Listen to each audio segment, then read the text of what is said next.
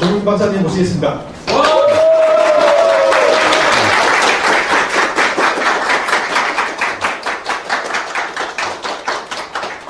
여러분 반갑습니다. 예. 음, 요사이 아주 무더운 날씨가 연일 계속되고 있네요. 폭음, 폭음 주유까지 내리는 이런 어, 무더운 날씨인데 여기 참 역사 얘기를 함께 듣고 또 어, 얘기를 나누기 위해서 한 자리에 모이신 여러분이 오히려 저보다 더 어, 존경스럽고 아주 훌륭한 예, 시민들이라고 생각됩니다. 어, 오늘 어, 제가 여러분하고 만남은 에, 주최 측에서 어, 이 기획한 역사학교 네 번째 얘기가 되지요.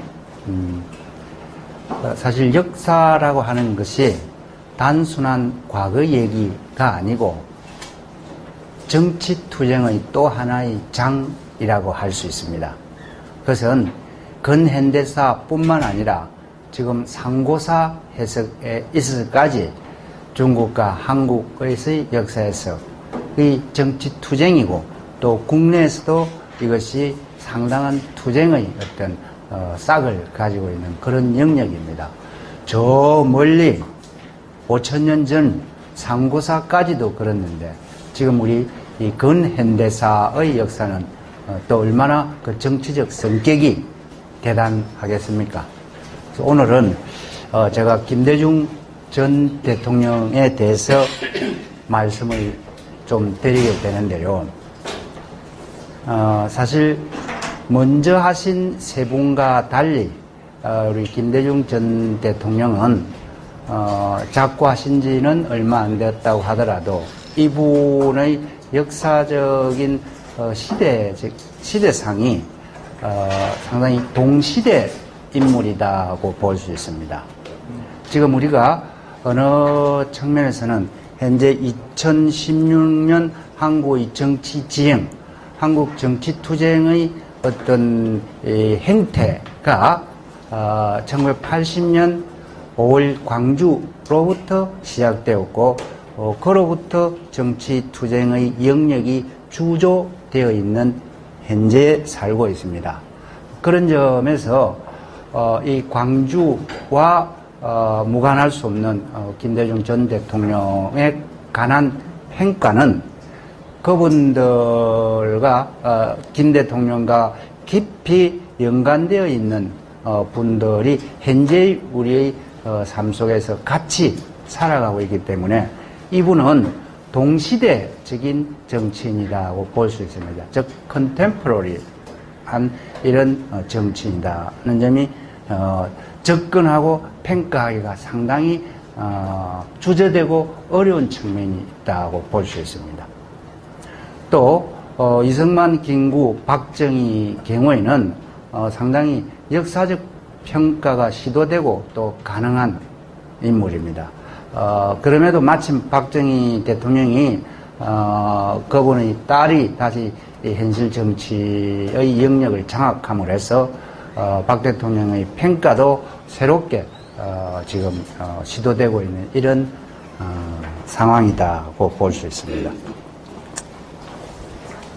지금 어, 제가 얘기하고자 하는 이 김대중 대통령은 어, 사실 이분만큼 어, 평가가 극단적으로 엇갈리고 선호도가 확연히 갈라지는 그런 어, 대통령은 이분 위에는 없습니다. 그런 점에서 어, 김대중 대통령은 원하지 않았던 행태로 한국의 정치에 대한 단상들이 이분을 매개로 이분을 계기로 갈라지고 있는 것이 현재 우리로서는 좀 안타까운 이런 어, 상황이다고 보겠습니다. 마침 이분은 어, 한국 어, 한국 정치가 본격적으로 어, 개발연대 즉 산업화의 축을 어, 산업화의 기적을 고동을 울린 그 시기로부터 이분 역시 정치 활동을 하게 되는데요. 그렇다고 본다면은 이분은 한국 정치에서 어, 박정희 시대와 또는 어, 전두환 노태우 시대를 거치면서 한국 정치에서 이분이 차지한 위상만큼 더 많은 위상을 차지한 분이 없을 정도로 그 존재감과 그 무게가 대단하다고 볼 수 있습니다. 어, 또 두루 아다시피 이분은 어, 암살의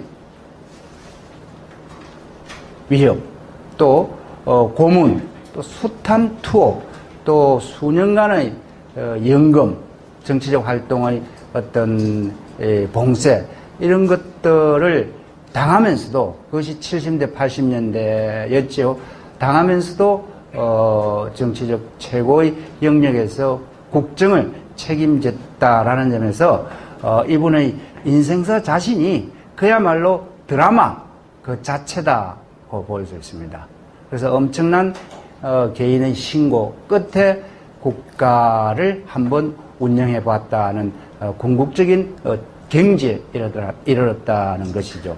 그래서 이분의 7, 80년대의 그 신선한 삶 자체가 어, 우리 흔히 에, 상징적인 표현으로 인동초, 인동초와 같은 그런 삶을 살았다고 이렇게 어, 얘기되고 있습니다. 어, 오늘 이 김대중 전 대통령을 얘기하는 것은 사실 현재 2016년 정치 현실을 얘기하는 것과 같습니다. 이분의 어, 지금 현재적 의미가 그런 것이고 또 이분의 이, 어, 최근까지의 삶의 영역과 그 궤적이 지금 현재 한국 정치의 어떤 어, 구심이고 또 한국 정치의 어, 결절점이다, 결렬점이다 하는 점에서 현재의 문제다고 볼 수 있습니다. 저는 이 한국 근현대사, 근현대사 지금까지 역사를 140년의 역사라고 봐요. 우리는 1876년에 일본으로부터 강제적 편입, 개항이 됨으로써 서세 동정의 제국주의 시대에 비자주적 강제적 문호 개방을 하게 되었어요. 그로부터 세계사에 준비되지 않은 강제 편입이 이루어졌습니다. 이 1876년부터 35년 만에 국권을 상실합니다. 그로부터 만 35년 동안의 식민지 폐반을 겪었어요. 그런 점에서 분단 전사 70년이 있었고 지금 우리는 분단 시대 70년을 보내고 또 한 해를 보내고 있어요. 이런 점에서 이 140년 역사의 단초는 1876년부터 시작되었다고 봅니다. 마침 여러분이 1, 2, 3 강의에서 들었지만, 들었겠지만, 백번 김구는 1876년생이고, 우남 이승만은 한 해 전 1875년생입니다. 그런 점에서 오늘 마침 네 분을 에, 다 마무리하는 이런 음, 시간대에 볼때 어, 우리가 세계사에 편입됨으로 해서 일국사로 일국사 중심으로 봤던 한국 역사는 이미 에, 마무리되면서 우리 세계 속에 세계사 속에 어, 우리가 어떻게 보면 어, 갑의 위치가 아닌 을의 위치로 지금 편입되고 말았다고 봅니다. 그것이 지금까지 지속되고 있는 상황이다는 것이죠. 140년의 역사가 세계사에 편입되면서 우리는 세계사의 피동적 객체로 머물고 있는 것이 현재적 상황이다는 겁니다. 70년 동안의 분단 전사는 그야말로 근대적 국민국가 수립의 실패에서 식민지로 떨어졌고 이민족의 노예 상태를 마치고도 우리는 분단을 지금 70년대 지속하고 있어요. 그런 점에서 분단 70년 전사가 분단을 필연적으로 나갈 수밖에 없었고 지금 이 70년을 보낸 이 현재에서도 분단을 넘어 통일로 다가가기는 커녕 더 통일로부터 멀어지는 듯한 아주 대형적인 반동적인 역사 시간에 지금 우리가 살고 있다고 하겠습니다. 이걸 넘기는 건 어떻게 합니까? 이, 제가 이 PPT 파일을 많이 한 여섯 개 준비를 했는데, 요걸 다음 넘기려면. 아, 예, 제가 직접.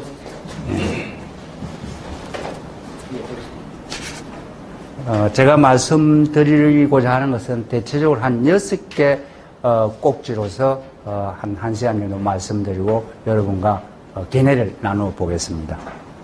연보험. 김대중 대통령의 연보를 제가 이렇게 정리를 했는데요. 어, 98년 제15대 대통령 취임되고 이후부터는 지금 여러분과 제가 큰 차이 없이 이, 이 현실을 다 요해하고 있다라는 전제에서 그때까지의 이야기를 어, 쭉 한번 짚어본다는 겁니다. 이분이 어, 참 어, 목포 아주 우등으로 어, 졸업하신 어떻게 보면 상당히 어, 어릴 때부터 좀 탁월한 이런 분이었다고 봐져요. 그러면서 일찍 어, 사업도 뛰어들었고 또는 정치적인 의지를 가진 아주 어, 조금 탁월한 이런 젊은 때의 어떤 역량을 보였던 분이라고 생각합니다.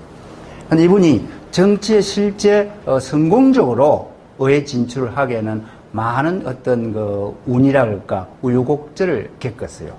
그래서 이분이 어, 4.19 전에 50년대에 국회의원을 두 번을 인재에서 나오게 되는데 다 실패를 했고 그리고 또 인재에 마침 3.15 후에 부정선거다고 해서 보궐선거가 나서 이분이 어, 인재에서 마침 당선이 되었어요. 50, 61년 5월 달에 당선이 되었어요. 그런데 그 이틀 만에 5.16 정변이 일어났어. 그러니까 뭐, 여의도도 한 번 못 가보고, 그때는 여의도가 아니고, 우리 저 시청 앞, 어, 저기지요. 시청 옆에. 지금은 그 서울시 의회 공간을 써주고 있죠. 거기 하면 출근도 못 해보고, 이 국회가 해산되고 끝났어요. 어, 그리고 2년 후에 이제 본격적으로 이분이 어, 6, 7, 8대 의정 생활을 하게 됩니다. 어, 이 과정 속에서 이분이 국회의 주요한 이런 어, 리더로서 대변인도 하고 상당히 어, 눈에 띄는 이런 괄목할 만한 이런 그 인물이었습니다. 그런데 우리 정치인 김대중을 얘기할 때는 반드시 박정희를 얘기하고 또 와에서 어, 김영삼 전 대통령을 또 얘기하게 됩니다. 어떻게 보면은 두 분다 어, 박정희에 대해서는 어, 서로가 어, 동지였지만 반박정희라는 측면에서 어, 그러나 어, 야당의 리더로서는 두 분 다 동지이자 또 경쟁자였거든요. 그런 점에서 우리는 어, 그 두 분 중에 그 당시 어, 70년대 어, 한 분을 선택하면서 선호도를 막 우리 국민들이 얘기를 했지만 또 어떻게 지금 역사적으로 생각한다면은 다 두 분 다 한국 사회에 긍정적으로 또 기여하, 기여했다라는 점에서 그 시기에 어, 민주적인 지도자로서 야당 정치인 두 분이 있었다고 하는 것을 어떻게 보면 다행으로 또 생각하는 것도 의미가 있다 이렇게 봅니다.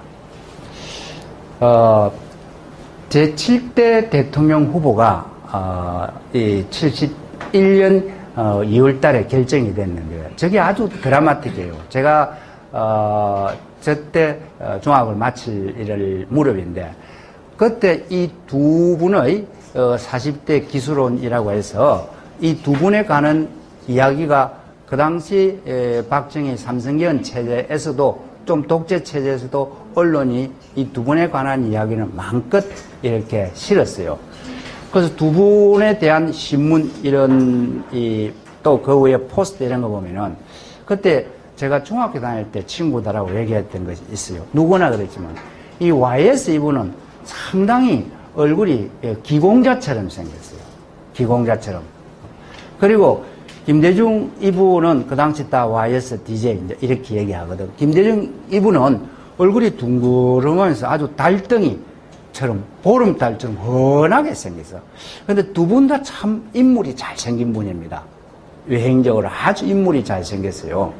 어, 와에서의 아주 기공자의 어떤 기품이 풍기는 이런 얼굴과 김대중 대통령 그 흔한 이런 아주 호남이면서 아주 그 인물이 이 커다란 이 가슴에 와닿는 그런 인물. 이 두 분이 어, 그 당시 70년대 한국 정치의 최대 포커스를 받은 분입니다.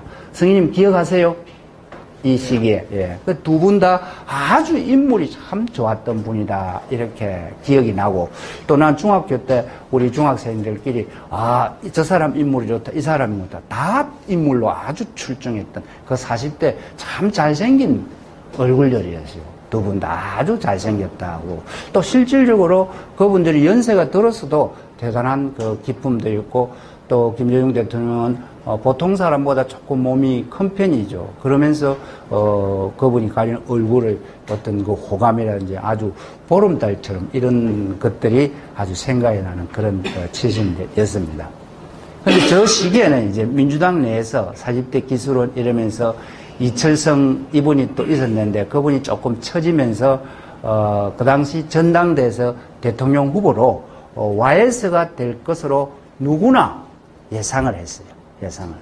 그런데 마침 어, 첫날 에, 투표에서 가반수 득표를 YS가 못했어요. YS가 1위였지만 그래서 그 다음 날 이제 투표를 하는 거예요. 그 다음 날 하는데 그 당시는 이제 전국 각지에서 올라온 이 시민당 대의원들이 주로 저 어, 서울 청진동 또는 관운동, 간철동 그것이 전부 여간집이거든요.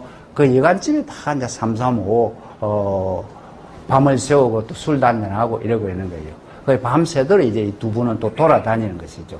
어, 그런 과정을 겪으면서 그 다음날 이철성계가 김대중 측에 지지를 함으로써 대통령 후보로는 이 김대중 대통령이 어, 결정된 것입니다. 이것은 아주 한국 정치사에서 드라마틱하고 또 아주 흥미로웠던 이런 그 상황이 저는 그 학교 다닐 때 생각들이 쭉 나오고 있습니다. 저는 그 당시 부산입니다만은 그건 전국적인 관심을 다 가진 것이니까 어, 그두 분의 어, 지도자에 대한 국민적인 기대 이런 것이 대단했던 시대였다고 봅니다. 또 우리 김대중 대통령은 어, 신안군 하이도지만 목포를 정치적 기반을 가졌고 또 김영삼 전 대통령 거제분이지만 어, 부산에서 정치적 기반을 가졌기 때문에 마침 영원함을 어, 대표하는 어, 두 정치인에 대한 기대들이 아주 많았던 이런 어, 시기가 생각이 납니다. 어, 하나 넘겨봐 주세요. 이 김대중 대통령의 정치관이라고 하면은 이 유명한 문장입니다. 서생적 문제의식, 상인적 현실 감각이라는 것이죠. 이두 개의 어떤 하나의 그, 이 규준점을 다 충족하는 것은 어떻게 보면 김대중 대통령 이후에는 없었어요. 이러한 서생적 문제의식이라고 하는 것은 정치적 가치에 대한 원칙 이 중요해요. 원칙을 버리면서까지 타협을 하고 또 야합을 한다는 것은 곤란하죠. 그는 정치가가 못 되는 것이죠. 정상 몰입이죠. 그런 점에서 이 서생적 문제의식이라는 것은 시대 정신을 관통하고 또는 정치적 원칙에 대해서 타협할 수 없는 이러한 규범, 가치 이런 걸 존중해야 된다는 겁니다. 그래서 김대중 대통령 저부는 정치가로서의 어떤 건가옥조 또는 어 하나의 그 이 어, 정치가로서의 어떤 갖추어야 할 어떤 품격이라고 하는 것을 저렇게 말씀하셨어요. 그런 점에서 그럼에도 이 서생적 문제의식이라고 하는 것이 그야말로 원칙주의적이고 또는 이상주의적에 거친다면은 정치라는 것은 그야말로 뒤죽박죽이고 또는 장터와 같이 아주 어, 나름대로 어, 진흙탕 속의 현실이지 않습니까? 또 정치라고 하는 것은 어떻게 본다면은 어, 목표로 하는 고지에 다다라야 됩니다. 목표로 하는 고지에 가야 대중을 국민을 위해서 뜻을 펼칠 수 있는 거 아닙니까?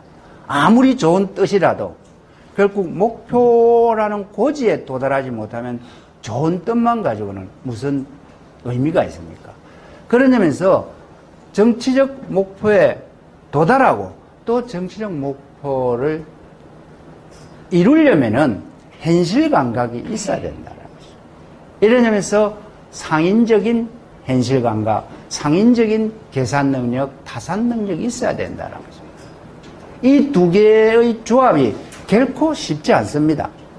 아마 DJ는 그 자신만큼 이 두 개를 조합한 어, 후계자를 기대했지만 뭐 우리의 한국 정치 현실에서 이 두 개가 잘 조합된 정치 리더는 아직 우리가 만나지 못하고 있는 이런 상황이다라는 겁니다.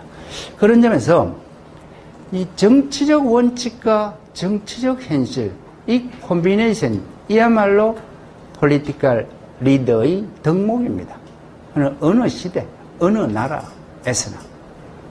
그러한 점에서 이 정치가의 어떤 최대 덕목을 우리 김대중 전 대통령은 이렇게 서생적 문제의식, 상인적 현실 감각, 이렇게 아주, 어, 막 거분식 표현, 아주 멋있게 또 거분식 표현을 했다고 볼 수 있고, 또 이러한 두 개의 어떤 규준점, 규준점을 가지고 한국 정치 지도자를 평하는 그런 글, 칼럼들을 여러분 자주 만날 수 있을 겁니다. 이게 자칫 앞부분이 강화되면은 어, 이상주의로 빠지고 원칙주의로 빠지고 비타입주의로 빠질 것이에요. 그래서 현재 우리 에, 주변의 정당 정치에서 많이 보고 있고 또 정당 정치에 몸, 몸담고 있는 정치적 여러 리더들의 행태를 많이 볼 수가 있어요. 또 이러한 원칙, 가치 이런 것이 배제된 상인적 현실감각을 가지고 있는 정치인이 대부분이다. 이렇게 보였어요. 대부분은 이 상인적 현실감각. 야, 넌 정치를 몰라. 이러죠. 어떤 사람은. 정치란 이거 그야말로 넙지되고 진흙 바탕이에요. 그것만 강조하는 것이 대부분의 정치인이고, 쟤는 정치를 몰라.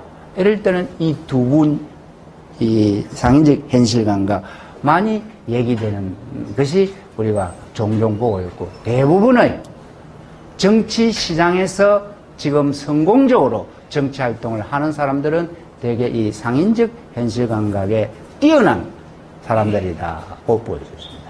그런 점에서 국민의 존경과 또 국민의 내심에서 우러나오는 지지를 획득할 수 있는 사람은 매우 드문 이런 안타까운 이런 상황이다고 보고 있습니다.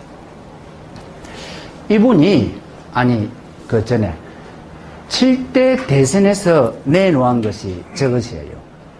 그 당시 미, 소, 중, 일 미국과 일본과 달리 소련과 그 당시 중공이라 했거든. 소련과 중공은 그야말로 공산주의 최대 국가 아닙니까? 이 공산주의 국가 소련과 그 당시 엄청난 냉전과 반공 시대에 중공을 다 합해서 일본하고 미국하고 합해서 이 4대국이 한반도 안전을 보장해다오. 이 한반도 평화를 보장해다오. 하는 이런 기치를 내건다는 것은 상당히 선진적이었고 매우 당시로서는 위험했던 논리입니다. 지금 너무나 당연한 것 같지만 그 당시 중국이라고 하지 않고 우리는 국교를 대만과 맺었거든요. 중공이야. 중국. 중국 인민공화국이란 말이에요. 이 중공과 소련을 언급한다는 자체는 그 당시 거의 사선을 넘는 이런 발상이었다고 볼 수 있어요. 또 어, 69년도 1.1 사태라 해서 무장공비 김신절 일당이 청와대를 내려오고 그해 가을에 울진 삼척 무장공비 게리라들의 어, 떤 준동이 있었어요. 그래서 박정희가 그 시기에 어, 향토 예비군을 만들었거든요. 이러한 시기에 안보가 그 당시 엄청난 어, 어떤 이 우리의 컴플렉스고 레드 컴플렉스이고 이러한 상황에 항토 예비군 폐지를 저 시기에 내놓았어요.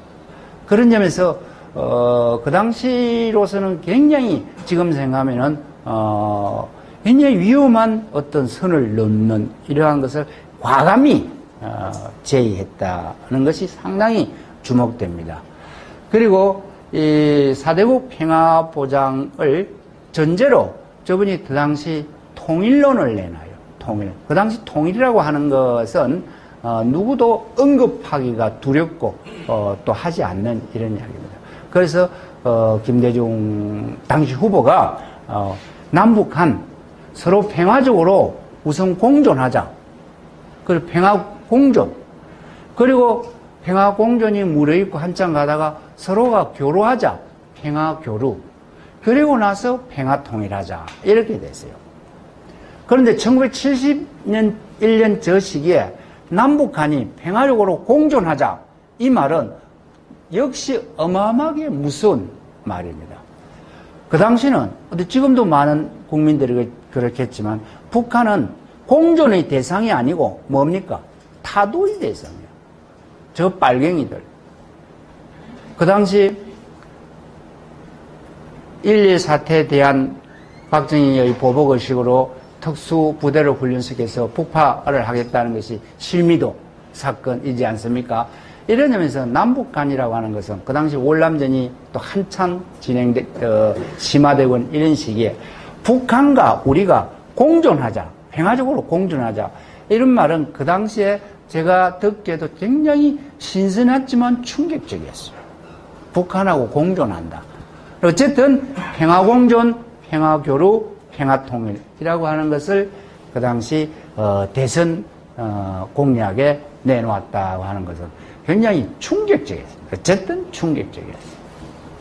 그리고 지방자치제 실시하자 또는 남북대화자 노사위원회를 구성하자 하는 것이 71년도 대선 공약인데 내가 이 네 개를 적시한 것은 이것이 저분이 90대 와서 야당을 이끌 때나 또는 저분이 대통령 됐을 때는 모두 실현됐던 얘기다라는 것이에요.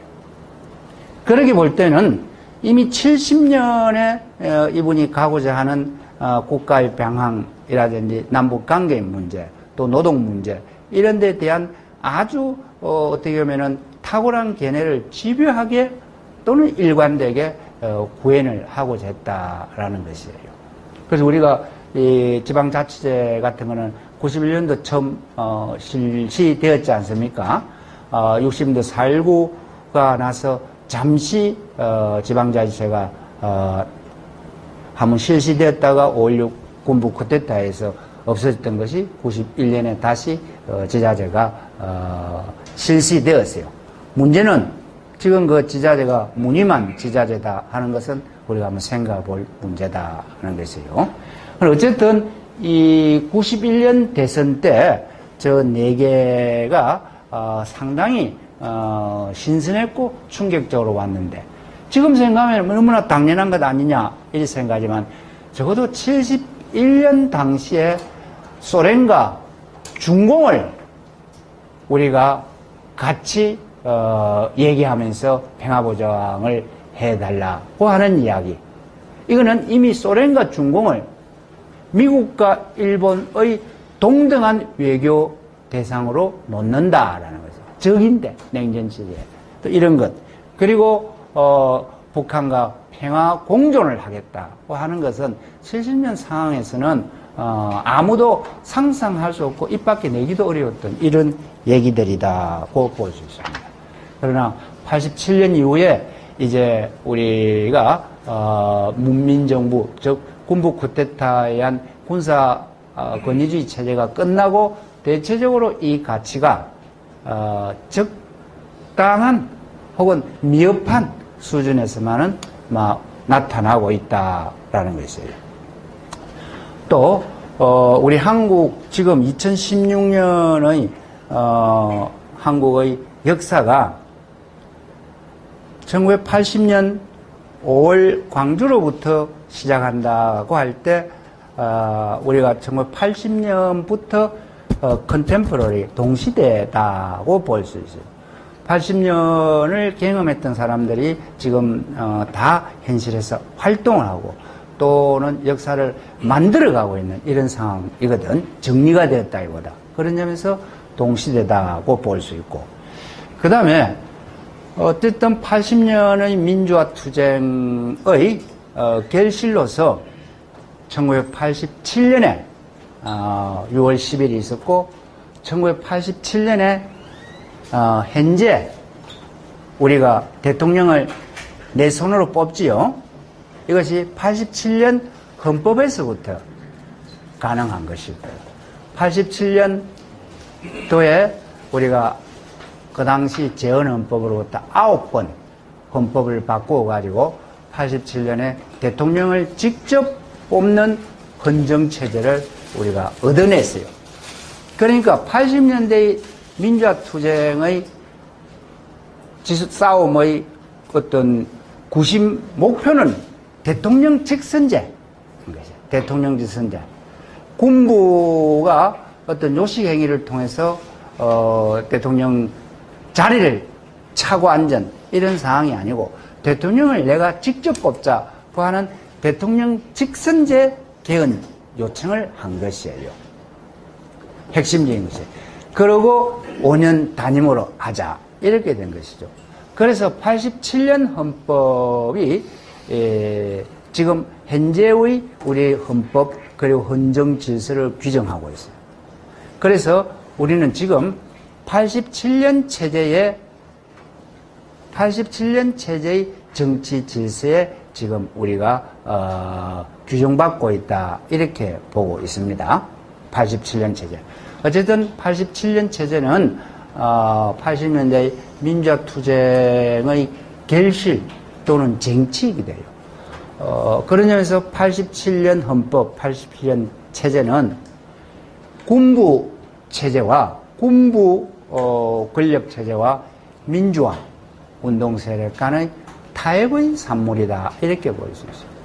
혁명을 해서 상대를 기득권 체제를 군부 체제로 완전히 꼬꾸라뜨리는 것이 발임이었을지도 모르지만 그 현실적으로 그 힘은 제약적이요 제약됐고 또는 군부는 군부대로 어, 자기들의 권위주의적 통치, 통치를 계속 지속하기에도 힘이 들었던 그런 속에서 이 군부 권위주의 체제와 민주화 세력 간의 타협이 87년 6월에 났고 87년 헌법을 개정하면서 그해 12월 16일 날 어, 대통령 선거에 이르렀다는 것이죠. 어, 그리고 그해 선거는 역시 우리가 어, 노태우의 군부 어, 군복을 벗고 어, 그냥 민간복으로 갈아입은 그런 정권이 되었고 그 다음에 우리의 문민정부라고 하는 와이스 정부 그리고 국민의 정부라고 하는 김대중 대통령의 정부가 행성되었습니다. 다음에 그리고 이 과정에서 노태우 정부, 김영상 정부, 김대중 정부 이 과정에 있어서 가장 어떻게 보면 정권을 창출하는 데서 어떤 어, 핵심적인 역할을 한 정치 세력은 김종필, JP로 대변되는 세력입니다. 그래서 JP 하면 우리 충청도 세력이라고 하죠. 그래서 저는 이 90년대 오면은 87년 노태우 대통령이 노태우가 대통령으로 당선되고 88년 4월 총선에서 네 당으로 나누어집니다. 네 당의 상징적 깃발 색깔이 달라지면서 이 한반도가 네 당으로 나누어졌어요. 그러자 어, 곧 어, 실, 어, 해님인 어, 노태우가 90년부터 88년, 89년 이런 상황에서 해님은 점점점 힘이 빠지게 되니까 어떻게 본다면은 저는 이 DJ, YS, JP 이 3자의 신삼국 시대가 한 10여 년 지속됐어요. 나는 이 한국의 신삼국 시대였다 이렇게 봅니다. YS, DJ, JP 이런 것이에요. 그래서 YS가 90년 1월에 YS가 노태하고 손을 잡아요. 노태하고 손을 잡으면서 집권 여당에 들어가서 권력 창출을 노립니다. 그리고 YS가 노태우 정권에 들어갈 때는 YS 혼자만 들어간 게 아니고 JP도 같이 들어갔거든. 그런 점에서 YS와 JP가 손을 잡고 집권 여당에 들어감으로써 이러저러한 권력 투쟁과 우유곡절을 겪고 YS가 어, 92년 12월 선거에서 득, 어, 당선이 되는 이런 과정을 우리가 만났습니다. 그런 점에서 YS의 집권은 JPY 합당과 연대였다고 볼 수 있어요. 그리고 97년도 IMF 상황을 맞이하고 97년 대선에 있어서는 또 우리 김대중 대통령이 94, 5년도에 95년도 지자체 선거에서 승기를 잡으면서 다시 JP와 손을 잡아요. 그것이 수평적 수평적 권력 교체를 하겠다라고 하면서 DJ가 충청도 세력인 JP하고 손을 잡는 것이 우리가 DJP다 이렇게 볼 수 있어요. 그래서 97년 12월 선거에 마침 약 35만 표의 차이로 대통령이 당선이 됩니다. 그렇게 본다면은 우리가 노태우 정부로부터 한국 정치는 신삼국 시대인데 이 JP를 상징으로 구심으로 하는 충청도 지역의 역할이 한쪽을 정권을 또 이쪽을 정권을 어, 장악하게 했다라는 점에서 어, 나는 어, 한국 현대사의 신삼국 시대가 어, 그 시기에 잠시 왔다 갔다 이렇게 봅니다. 그렇게 본다면은 어, 떻게 보면 JP야말로 어, 두 사람이 대통령이 되게끔 한 어떤 어, 협력 세력, 동반 세력이었다고 봐져요.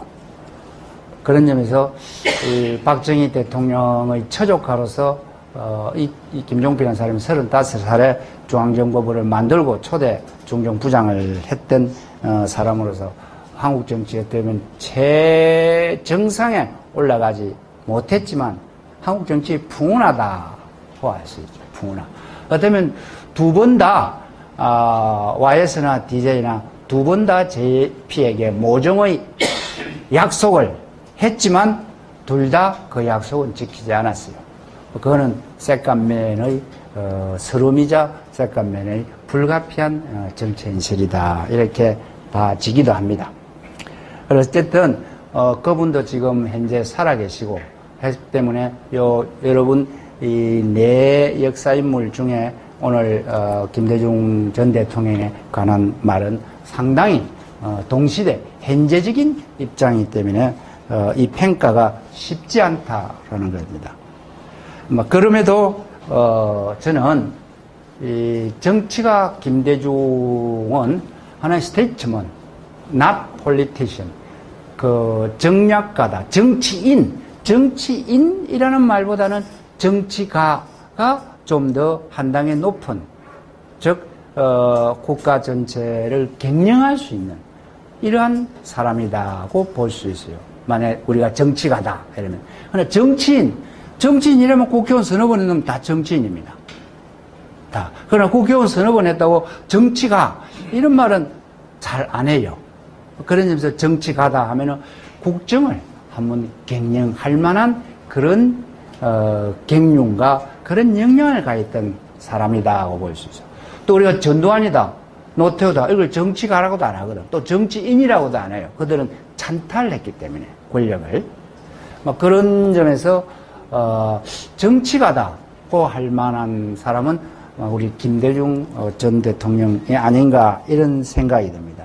그래서 어, 영어로 하면 politician이 아닌 state, state. 국정을 관리할 만한 그런 어, 갱륜과 그런 어, 비전, 역량을 가졌던 어, 사람이다 이런 것이죠. 이 대통령의 자격으로서 저는 이 비전, 카리스마, 국가 경영 능력 이 세 개를 얘기합니다. 대개 비전만 있으면 허망해요. 비전이 있는 사람들이 우리 주변에 조금씩 있습니다. 그 사람이 아주 때묻지 않고 공직 생활에 어, 상당히 어, 엄정한 생활을 했고 그럼에도 어, 그가 어, 권력을 잡으면 잘 하겠지 하는 이런 정도의 기대를 가지는 사람들이 있어요. 그런 점에서 비전이 중요합니다. 그러나 이 또 카리스마가 있어야 돼요. 이 카리스마는 득표 역량입니다. 맹목적으로 따르는 사람들이 좀 있어야 돼요. 맹목적으로. 맹목. 약간은 맹목성이 있어요. 카리스마는 어떻게 보면은 어, 약, 어, 이성을 초월하는 행태일 수도 있어요. 저 사람이 맹목적으로 죽고 저 사람 말이라면 나는 어, 모든 걸 다 내놓고 싶다. 이런 것도 중요합니다. 대체적으로 이 카리스마는 한국 현실에서 지역 기반에서 많이 나왔습니다. 그래서 다섯 번, 여섯 번, 일곱 번, 아홉 번 계속 해줌으로 해서 부동의 어떤 어, 위상을 보장받아야 돼요. 그런 점에서 어, 그 카리스마를 갖는 것은 그 개인이 가진 어떤 탁월한 은행이라든지 어, 또는 그가 가진 용인술 이런 것도 있지만 그런 것도 있지만 여러 요인 중에 한국 정치 현실에서는 역시 지역 기반이 카리스마의 큰 어, 변수였다 이렇게 봅니다. 그 다음에 역시 국가 경영 능력이죠. 이것은 정치를 국내 정치에서 문제점과 또는 대외 관계에서 우리가 어디로 가야 되느냐 이런 거를 관리할 수 있는 역량이 되어야 돼요. 한국 사회가 자본주의적 시장 경제를 유지해 왔고 발전 국가로서의 국가 목표가 성장해 도왔어요. 이럴 때 나타나는 문제점이 무엇이며 또 이러한 것에서 국가적 성공을 끌어가기 위해서는 어떤 경제 전략, 어떤 사회 정책을 해야 되느냐 하는 데 대한 통찰력과 또 그것을 실현 구현할 수 있는 능력이 있어야 됩니다. 또 싱가포르나 또는 인도네시아나 또는 저 스페인이나 모든 나라가 다 대외 정책을 갖습니다. 그러나 우리는 그들하고 다른 점이 뭡니까? 분단이거든. 분단. 분단으로부터 오는 이러한 국내 정치적 왜곡, 또 우리 미래로 가야 할 문제가 만만한 과제가 아니에요. 그런 점에서 단순한 대외 전략 을 넘어서 어느 나라 간에 대외 전략이 있어요. 멕시코도 있고 남아공도 있어요. 대외 전략이 없는 나라는 없습니다.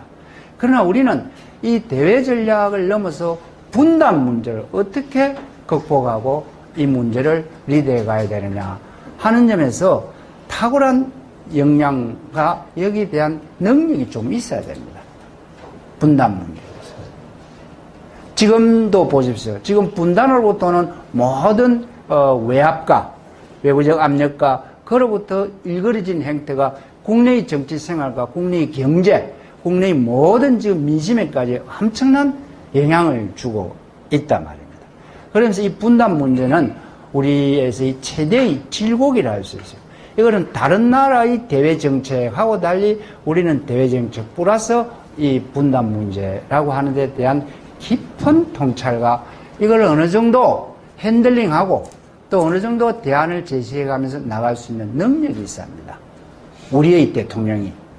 그런 점에서 저는 이 비전, 카리스마, 어, 국가 경영 능력, 이 세 개가 우리가 요구하는 지도자, 대통령의 필요 덕목입니다. 그러 모든 역대 지도자가 다 이것을 갖춘다면 그 나라는 엄청난 행운이고 금방 최고국가의 반열에 오르겠죠. 그러나 우리는 이러한 기준점으로서 지도자에게 요청을 해야 돼요. 이러한 지도자, 이러한 정치가가 지금 우리에게 필요하다라는 것이죠. 그런 점에서 우리가 만났던 역대 대통령 혹은 역대 정치가 중에서 그런대로 가장 어, 우위를 어, 선점하는 분은 김대중 대통령이 아니겠는가 이런 생각을 제 개인적으로 해봅니다. 여러분이 동의를 하실 수도 있고 또는 어, 반대의 견해도 있을 수도 있습니다. 어, 그런 점에서 이 분을 이 세계의 어떤 대통령의 자격을 갖춘 분에 대해서 우리 국민 여론조사를 하면 어떻게 나타날지는 모르지만 그래도 어, 합리적 입장에서 이 김대중 대통령이 이런 자격의 문제에서 상당히 에, 수위에 에, 있었다고 봅니다. 어쨌든 이 부분은 그 YS하고 일화가 많아요. 재미있는 이야기. 우리 YS 이분은 잘 아다시피 머리는 빌릴 수 있도 건강은 못 빌린데 이리 말을 하죠. 또 이분 다 YS도 그렇고 DJ도 그렇고 어, 다들 어, 영남 출신이고 또는 호남 출신이라서 사실 그 사투리가 많이 어, 쓰던 분이에요. 영남, 호남 하니까 저는 늘 이 단어가 아주 불쾌해요. 이 영남이라고 하는 말은 호남이라고 하는 말은 큰 호수 남쪽이란 말이에요. 그럼 우리가 전, 전라남북도가 호수가 어디를 기준으로 호수 남쪽이라 해요. 이게 사대주의 용어입니다. 북, 중국, 양자강, 양재강에 다 호남성이 있고 호북성이 있어요. 또는 황하강에는 다 하북성이 있고 하남성이 있습니다. 근데 우리 호남이다 이러면 밑도 끝도 없는 이야기예요. 우리가 뭔 호남, 어디 호수가 있냐? 그럼 영남, 영남이란 큰 고갯마루 밑이 영남인데, 그럼 고갯마루 뭐? 뭐 대관령을 억지로 하자. 그 대관령 밑에 저 경북 어, 지역하고 경북 저 봉화라든지 또는 경북 안동이다 이러면 억지로 대관령 밑이다 이러면 돼. 저 경남 진주, 산청, 합천 그 대관령과 무슨 상관이 있나? 그래서 이 밑도 끝도 없는 영남 호남이라고 하는 말이 지금 우리가 쓰고 있어요. 또 전라도 이라면 전주 나주 이거는 말이 돼요. 또 경상도 이러면은 경주 상주거든. 그럼 저 경상남도는 어디가 있나? 신라 시대에 주로 어, 경주 상주 중심으로 신라의 어떤 패권 영역 영토가 있었고 이 지역은 경상남도 지역은 가야 영역이란 말입니다. 이런 점에서 참 우리가 전체를 아우르는 이런 행태가 그야말로 근거도 없는 그럼에도 어, 사대주의적 이 지행을 그대로 쓰고 있어요. 우리가 하동 또는 고성 어, 뭐 산청 다, 다 중국 용어입니다. 또 광주, 광주는 고려시대 무진주였지요. 무진주.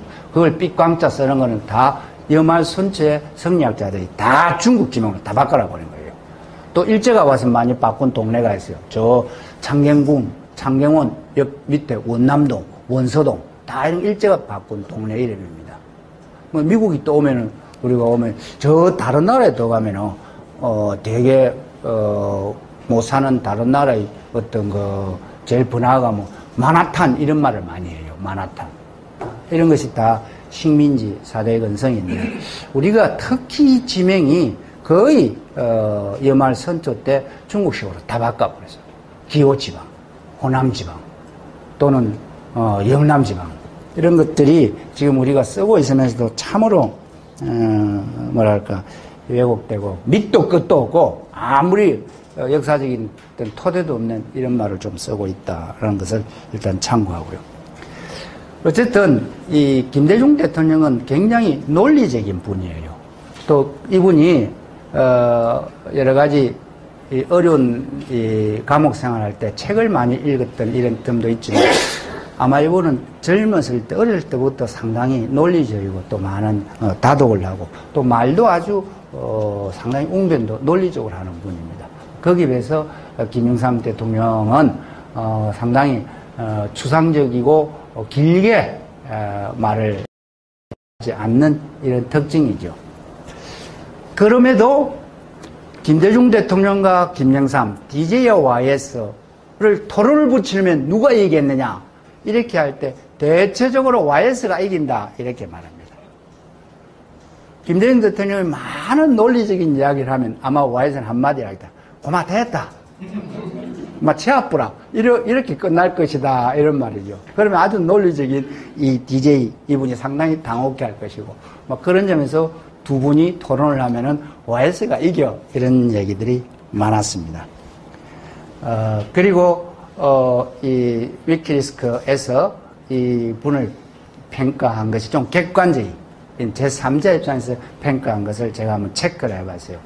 그리고 이 YS는 다혈질의 대부분의 정치적 이슈들에 상당히 제한적인 지식과 보수적인 시각을 가지고 있다.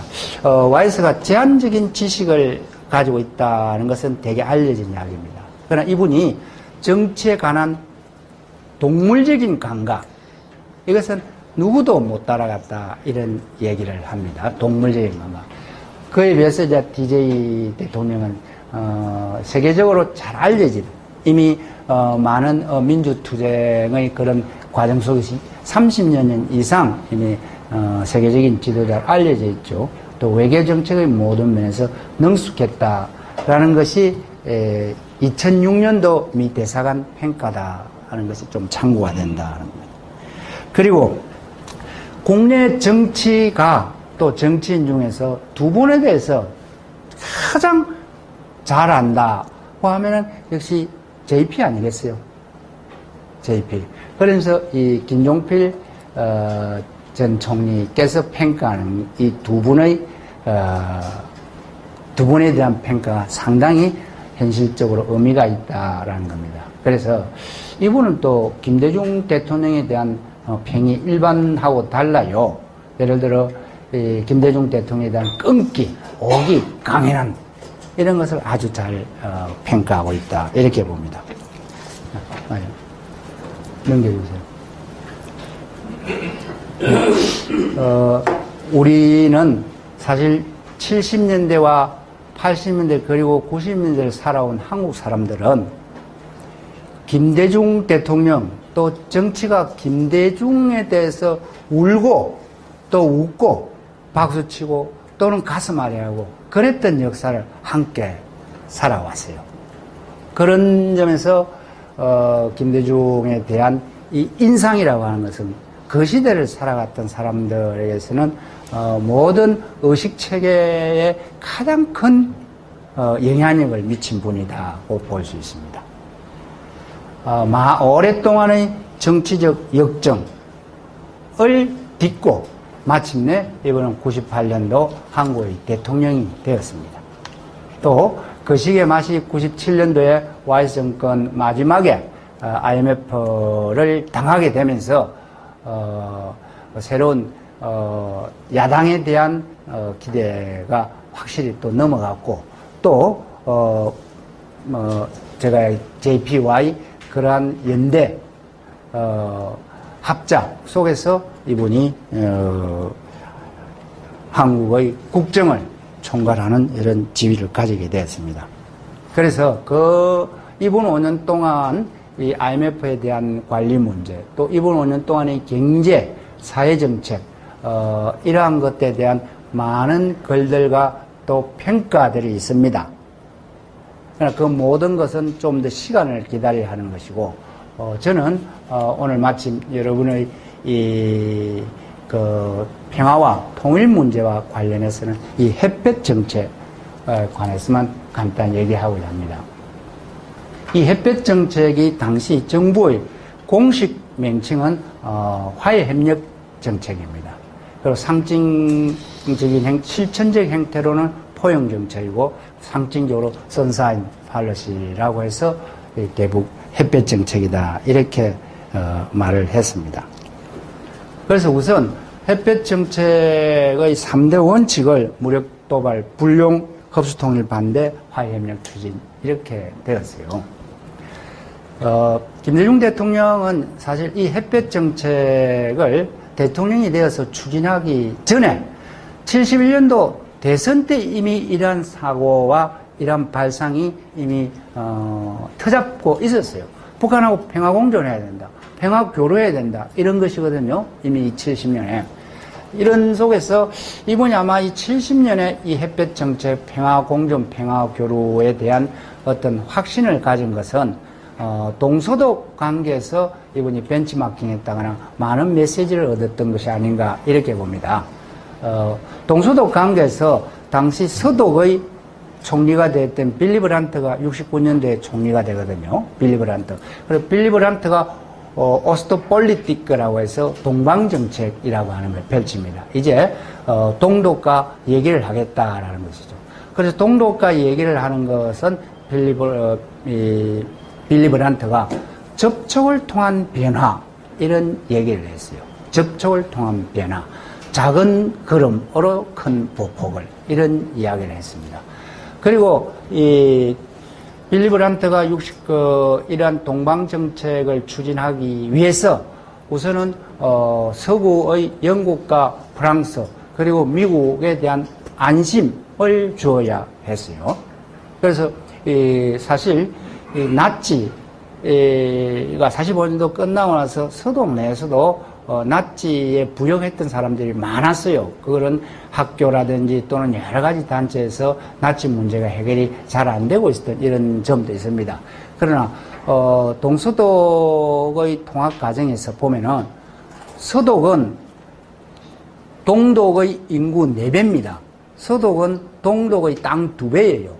그런데 33년 히틀러가 선거에서 권력을 잡는데 히틀러의 권력 기반이 융커, JUNK야. 융커라고 지주계통을, 전통 지주를 말합니다. 이들이 주로 드레스덴을 중심으로 한 동독 지역에 그 뿌리를 두고 있어요. 그리고 전쟁 끝나자마자 사대국이 독일을 분할 점령을 하는데 동독 지역은 소련이 점령했습니다. 그래서 소련은 나치에 협력한 나치 본산지, 나치 지지 기반인 드레스덴을 비롯한 이 동독적 전체를 깡그리 뿌려 뽑아버렸어요. 그리고 45년 이후에 자유주의자인 아데나오가 수상이 되었는데 총리가 되었는데 아데나오는 자유주의자로서 나치 때 수감 생활, 감옥에 생활했던 사람들입니다. 이 아데나오가 반나치적 입장이었고 또는 어, 영국과 프랑스의 서구 사회 이론으로 서독이 합류를 해야 되기 때문에 아데나오부터 역사 정리 이런 것을 시도를 하게 되어요. 그런 과정 속에서 숨어 있던 이런 나치들이 낮은 포복으로 숨어 있고 이런 상황이었죠. 아데나오 때부터 독일은 역사를 정리하고 서구사의 진정한 일원이 되기 위해서 역사적 참여를 하고 반성을 하고 이럽니다.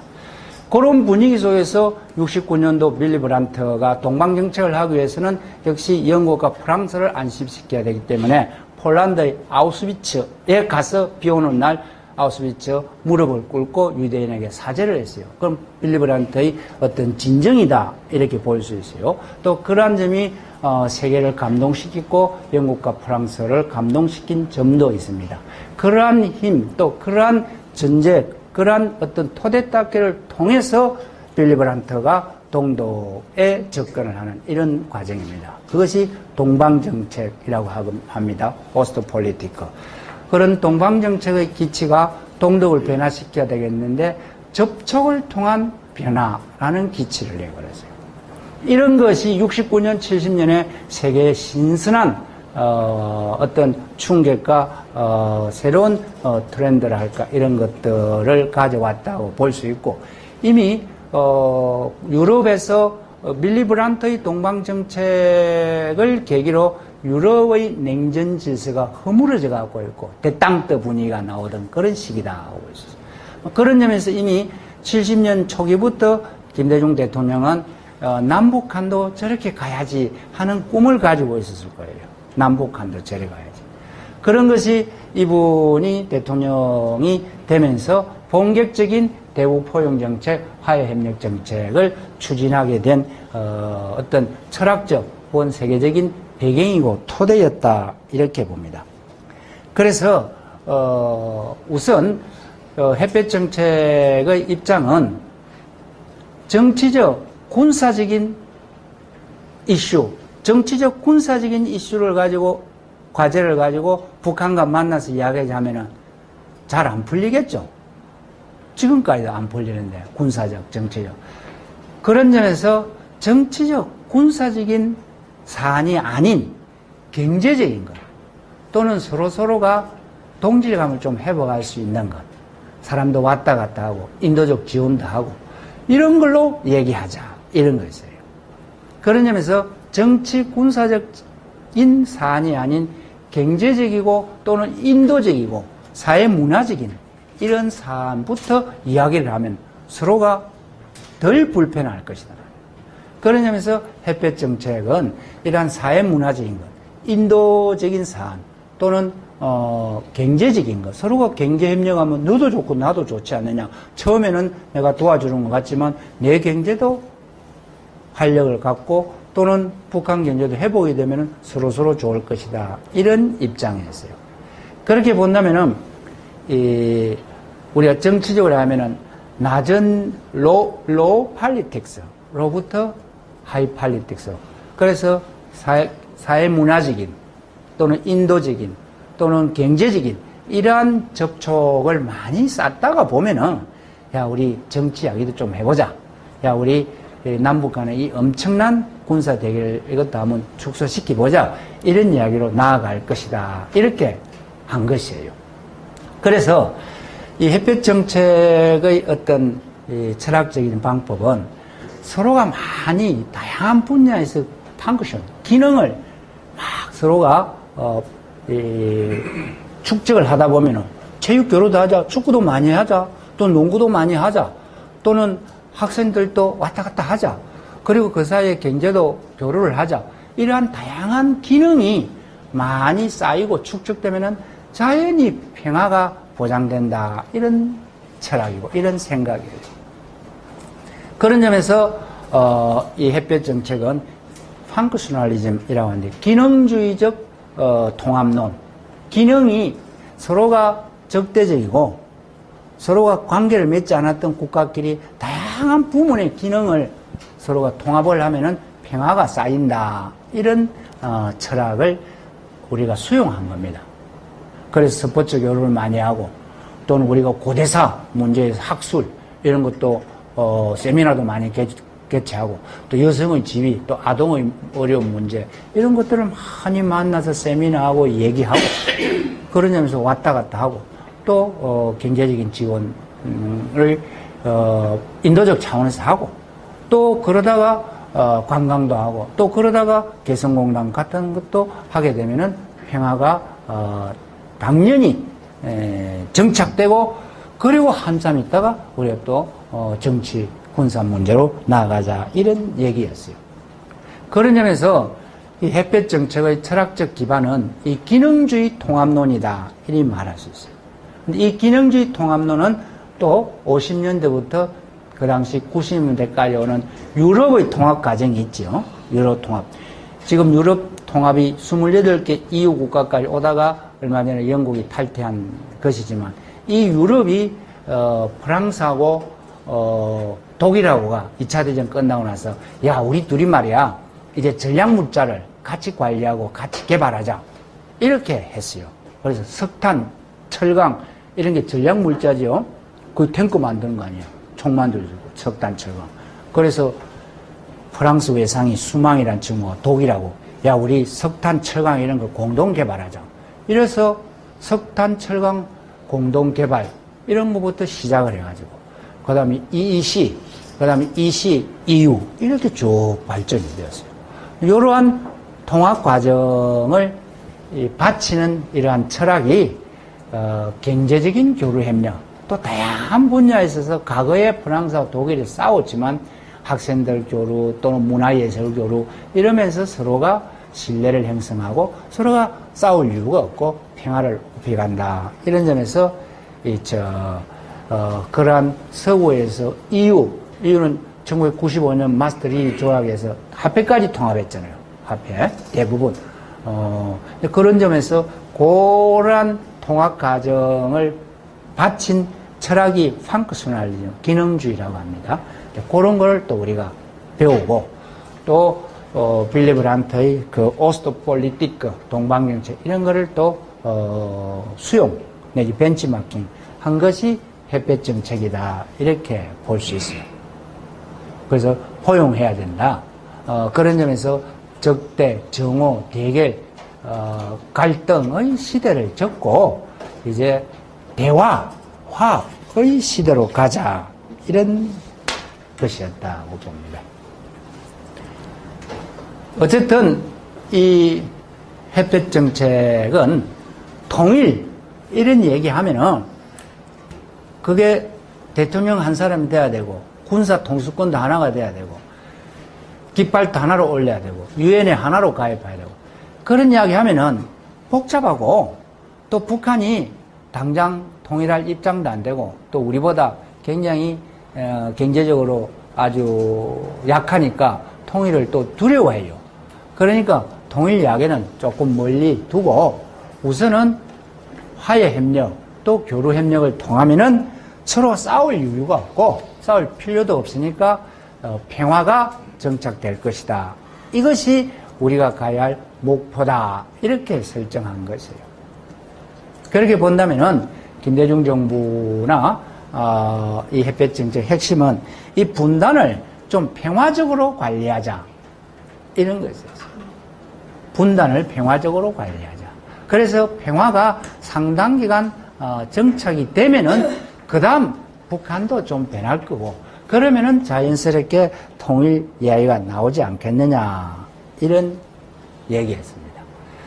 그래서 그 당시 어, 어, 김대중 정부는 어, 쨌든 남북 간 교류 협력을 위해서 사회문화 차원에서 북한을 많이 방북하고 또 종교단체도 많이 가고 하는 걸 적극, 어, 적극 권장도 하고 그랬어요. 그래서 어, 나도 아주 북한을 많이 다녀와 봤어요. 또 저 원산 그 뭐고 이 그 항구도 이리 가보고 그 당시 비료 쌀 이런 거를 지원해 준다면서 우리 같은 사람들이 그 배를 타고 갑니다 며칠 청진도 가고 많이 다녔어요. 그래서 평양이라든지 다른 지역을 많이 에, 갔던 것이 2007년 12월까지 가봤어요. 2008년부터 지금까지는 그리운 건강산을 아직도 못 가보고 있는 이런 상황이에요. 뭐 그런 속에서 어, 그 시기에 어, 이러한 햇볕 정책에 대한 어, 성과는 햇볕 정책을 찬성하고 또는 지지하는 입장에서는 상당한 성과가 있었다. 이렇게 입장에서는 햇볕 정책이 북한을 변화, 변화시킨다고 했는데 뭘 변화시켰나? 이렇게 얘기를 해요. 북한이 핵을 놓았나? 북한이 세습 민주화를 조금이라도 했나?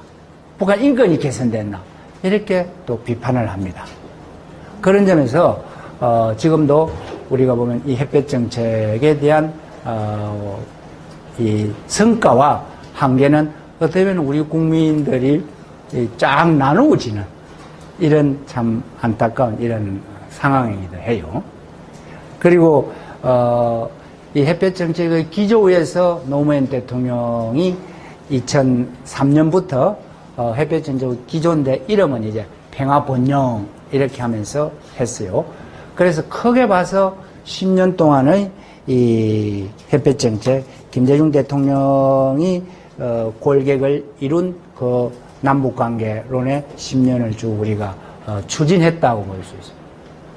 그리고 이제 어, MB 정부 들어와서는 나 그런 거 다 싫어 하면서 싸그리 어, 노무현 대통령 정책에 반대만 되면 그게 답이다 이렇게 생각을 하면서 어, 북한에 대한 대북 정책을 완전히 180도로 좀 달래했고 또 그러한 입장이 어, 현재까지 어, 지속되고 있는 감이 있습니다.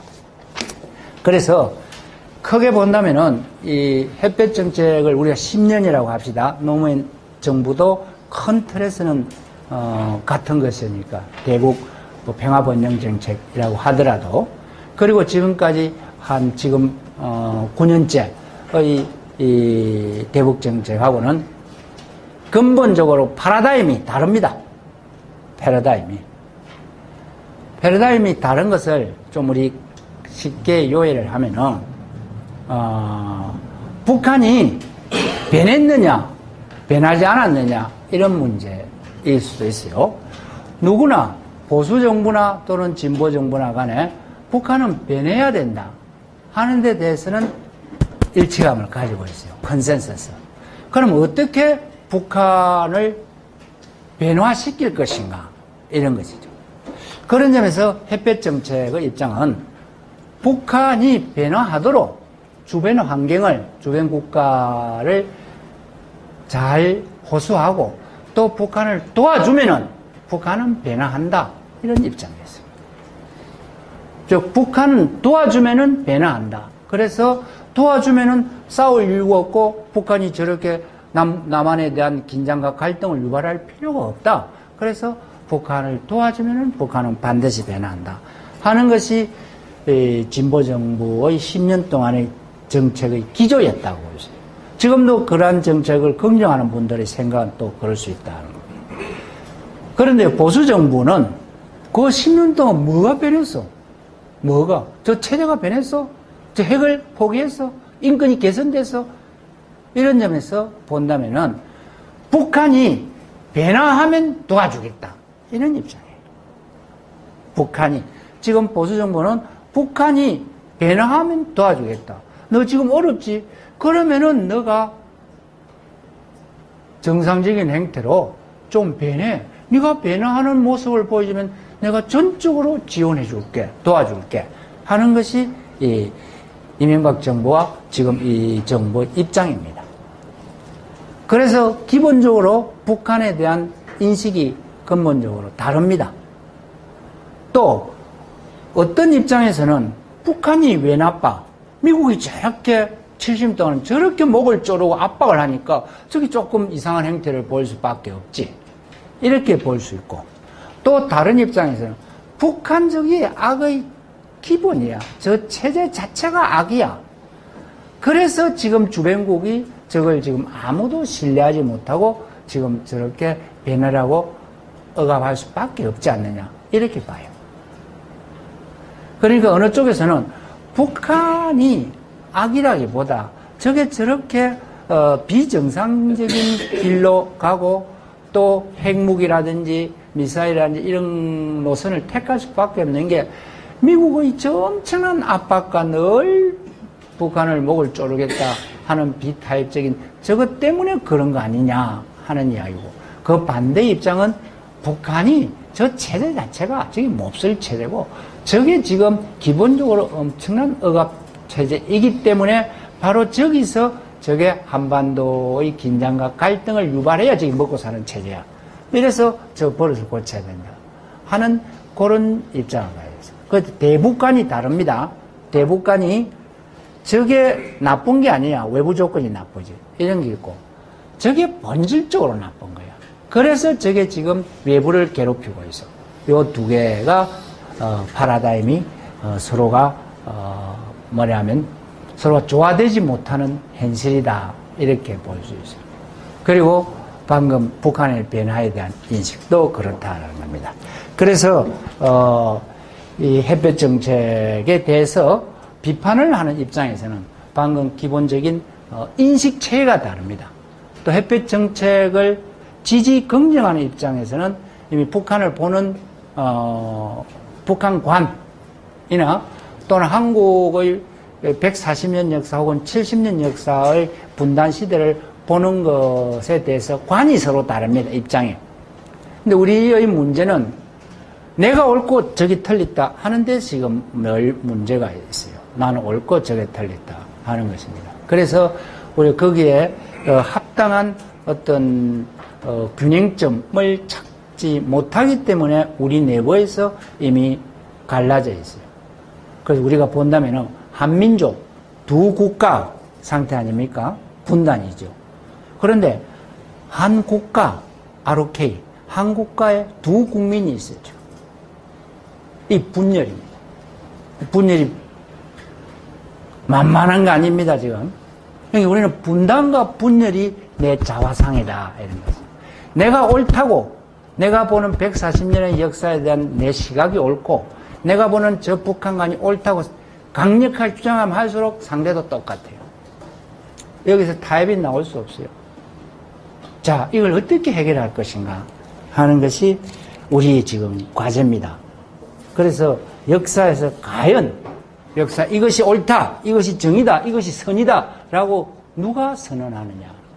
과연 선언할 만한 자격을 누가 갖고 있냐? 그럼 그 결과가 어떻느냐? 이런 것들이 있다 그러면 마지막으로 북한 연방제는 어, 이번에 5월달에 어, 제7차 당대에서 또 한 번 나왔어요. 7차 당대에서 북한이 6차 당대를 36년 만에 했어요. 6차 당대를 1980년 10월 10일 날 했거든.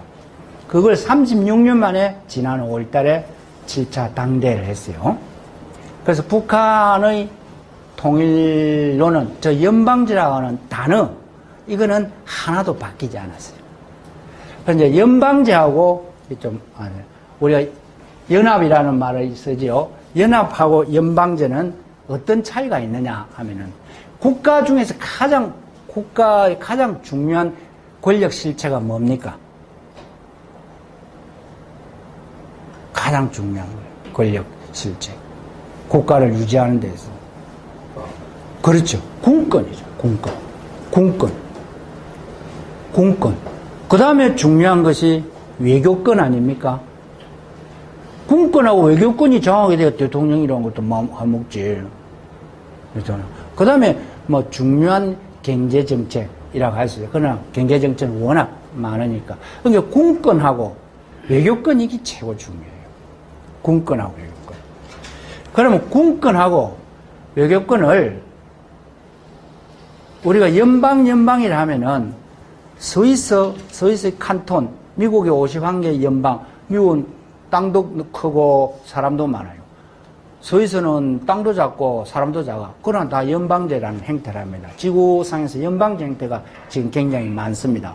그러면 연방이 되면은 연방에 가입한 state 미국은 어 United States 아닙니까? 이 state가 모여 있다 이런 거거든요.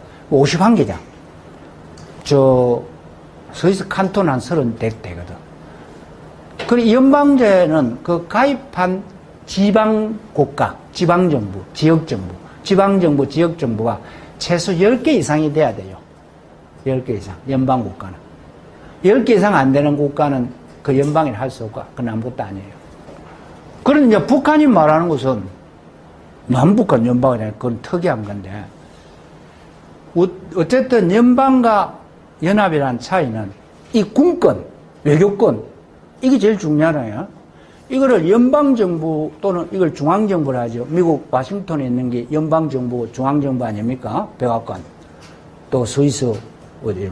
그러면은 베른 있다는 이 군권, 외교권 이걸 하나를 각 지방정부가 다 가지고 있어야 되느냐.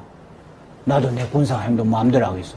그렇지만 중앙정부에 딱 가 있느냐. 이런 건데 중앙정부에 딱 가 있는 게 연방제입니다. 스위스고 또는 나이지리아고 독일이고 독일 연방입니다. 미국이고 카나다고 다 연방이에요. 중앙정부에 딱 가 있어요. 연방정부가 있다. federal state라고 해요. 연방정부에 있다. 이걸 연방이라 그래요. 그 다음에 지역정부가 여기 가 있는 거는 연합이라고 해요. 국가연합. 국가연합은 역사 속에 잠시 나타났다가 없어지는데 미국이 1776년 독립선언하죠. 그때 선언을 몇 개 주고 해가지고 한 여덟 개 주가 서로서로 모여가지고, 어, 국가연합을 행태를 해요. 그 당시 적은 독립은 영국으로 해야 되잖아. 그러니까 우리가 영국으로 독립하기 위해서 군사력을 이렇게 해야 된다. 이러는데 거기 모인 주가 왜 하나로 뭉쳐? 하나로 뭉치면 누가 동수권을 갈 거야? 그런 게 합의가 안 되니까 잠시 동안 그 각 스테이트마다 군을 가지고 있었어요. 그러면서 조금씩 조금 힘을 보태고 영국과 싸우지. 그럴 때 국가연합이라는 게 잠시 있었어요.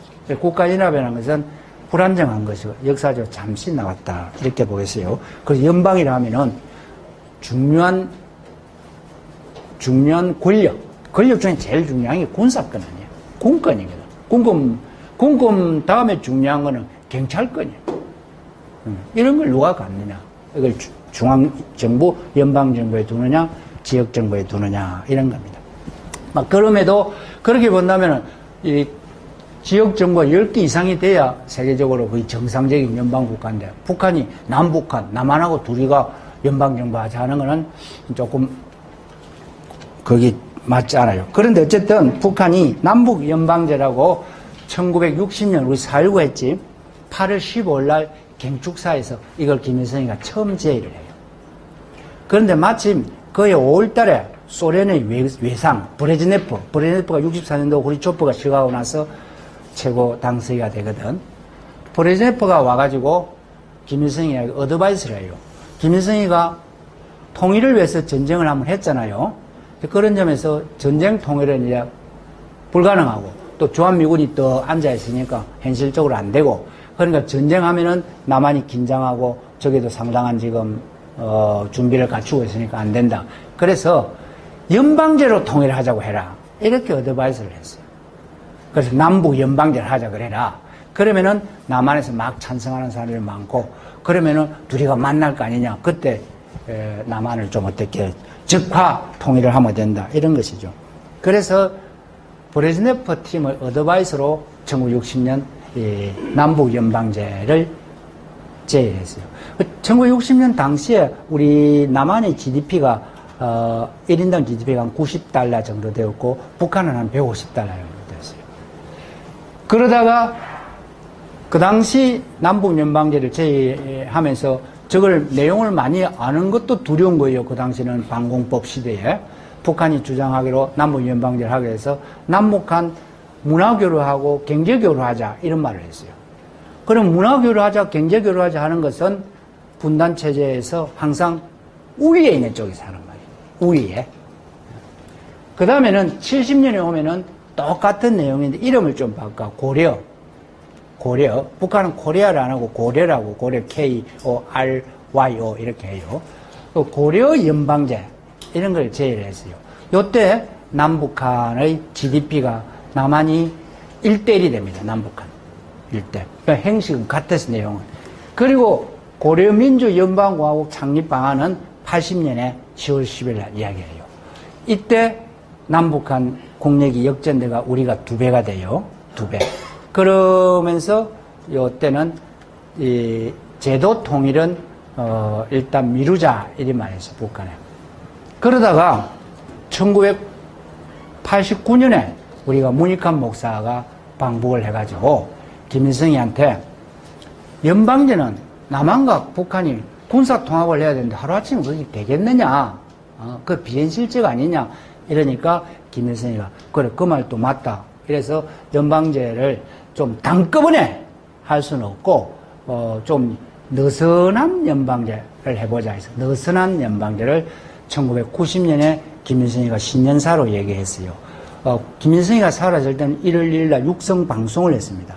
그리고 이제 에, 김정일이는 어, 목소리도 안 좋고 사람 앞에 나서는 걸 좀 싫어해서 어, 당보, 군보, 청년보라고 하는 신문 사설에 이제 1년 어, 신년사를 얘기해요. 김일성은 이제 목소리도 나름대로 자신감 있고 해서 얘기를 했어요. 그러면서 90년에 김일성이가 90년이 어떤 시기입니까? 동서독이 통일이 됐어요. 1990년 10월 3일. 또, 어, 그때 90년 12월에, 어, 90년 10월에 한소 수교를 했어요. 92년 8월에 한중 수교를 합니다. 이미 사회주의가 다 무너지고 넘어갈 때입니다. 이런 시기에 에, 김일성이가 91년도 신년사에 와서는 통일은 누가 누구를 먹거나 먹히우는 통일은 반대한다. 제도 통일은 후대로 미루자. 이리 말을 했어요. 그게 91년입니다. 제도 통일은 후대로 미루자. 누가 누구를 먹히우나 먹거나 먹히우는 통일은 반대한다. 이 말을 했어요. 핵심을 알겠죠? 이제. 그리고 2000년에 와서 그 느슨한 연방제가 낮은 단계의 연방제로 변화됐어요. 북한은 90년부터 와서 90년에는 어, 90년에 남북한 GDP 차이가 10대 1입니다. 지금 44대 1입니다. 44대 1. 그런 점에서 10대 1이 되고, 그 다음 사회주의 체제가 다 와해 붕괴될 때 통일의 의미를 김일성이가 모르진 않을 거예요. 제도 통일은 후대로 미루자. 누가 누구를 먹거나 먹히우는 통일, 그거는 흡수 통일이죠. 동서독 관계의 통일입니다. 그런 거는 반대한다. 이 말을 했어요. 그래서 제가 말하고자 하는 것은 북한은 이미 이 시기에 오면 반통일 논리에 들어갑니다. 말은 통일, 통일하고 연방제라고 하는 것을 그 하나의 이름으로, 명칭으로서 얘기를 하지만 북한은 통일에서 도망가고 있어요. 북한이 바보입니까? 김일성이나 김정은이가 통일을 하자는 의미를. 그래서 북한 연방제 통일은 어, 이미 90년도에는 확실히 반통일 논리다고 볼 수 있습니다. 이걸 가지고 두려워한다거나 이럴 거 없고, 또 우리가, 그래, 그 방식으로 한번 얘기해보자. 이러면 오히려 논리가 또 이렇게 공무원위를 뺄수 있는 개연성이 높습니다. 현재 통일이라고 하는 것은 남북 간의 국력과 어, 실질적인 어떤 미래 비전에서 누가 주역이 될 것이냐 하는 것은 크게 말 안 해도 이거는 덜 논쟁적인 문제입니다. 덜 논쟁적인. 그런 점에서 북한은 현재 어, 체제 유지에 대한 입장이 기본적이다. 요거 한번 엔터를 쳐주세요. 승현님, 요거 한번 엔터를 한번. 한번. 어, 그래요. 그래서, 어, 그럼에도, 어, 지금, 어, 1994년 김일성 사후, 어, 김정일 17년 했고, 또, 어, 김정일 사후 전에 지금 김정은이가 후견인, 후견 제도에서 3년을 집권했습니다. 그리고 지금 5년 차입니다. 그래서 김정은이가 8년 차 집권을 하고 있는데, 어, 저는 저것이 만만하지 않다고 봅니다. 어떤 사람들은 어, 미국 CIA 클래프 국장이나 친구들은 김정은이가 충동적이고 감정적이고 불안정하다 이렇게 말하는데 저는 그렇게 안 봅니다. 상당히 어, 일관성이 있고 또는 치밀하고 상당히 타산적이다 이렇게 봅니다. 이걸 좋다 나쁘다는 의미가 아니고 어, 그런 점에서 북한이 쉽사리 어, 미국 일각이라든지 또 우리 한국 일부에서 북한은 곧 망할 거야, 망할 거야, 붕괴, 붕괴 얘기를 하고 있는데 저는 쉽게 망할 것 같지는 않다고 보고 있습니다. 음, 그런 점에서 어, 남북 관계가 장기적 구도 속에서 접근하지 않으면 안 됩니다. 지금 그래서 어, 제가 어, 이제 다시 지금 우리 한반도가 상당히 지금 긴장 국면으로 들어가고 있는 우려되는 상황이지만 우리의 대북 정책이 새롭게 접근되어야 된다. 그 점에서 기본 요 실용적인 포용 정책을 해야 되고 어, 그런 과정 속에서 중장기적인 구도, 중장기적인 전망에서 이 민족 문제를 바라봐야 됩니다. 그리고 당장 이 긴장의 어떤 이 악순환 구조를 잡아야 됩니다. 이거를 해결해 줘야 돼요. 그래서 남북 관계를 다시 심각하게 생각하면서 이 한반도 긴장 문제를 다운시켜야 됩니다. 그리고 평화를 어느 정도 정착시켜야 합니다. 거기에 가는 것은 다양한 방법이 있지만 어쨌든 당면한 우리의 국가 목표는 한반도 긴장 완화와 평화 정착입니다. 그거를 토대로 해서 장기 전망 속에서 남북한이 하나 되는 길로 나아갈 수 있다고 보고 어, 그런 점에서 지금 내일 혹은 다음 정부 내년 혹은 다음 정부가 어, 즉각 당장 추진해야 할 문제는 이 한반도 긴장을 완화시키고 해소시켜야 되는 겁니다. 그런 속에서 중장기적인 민족 미래를 구상한 정치가가 대한민국의 방향타를 잡아야 된다. 이런 생각입니다. 여러분, 일단 제 얘기는 여기까지 마치겠습니다. 여러분.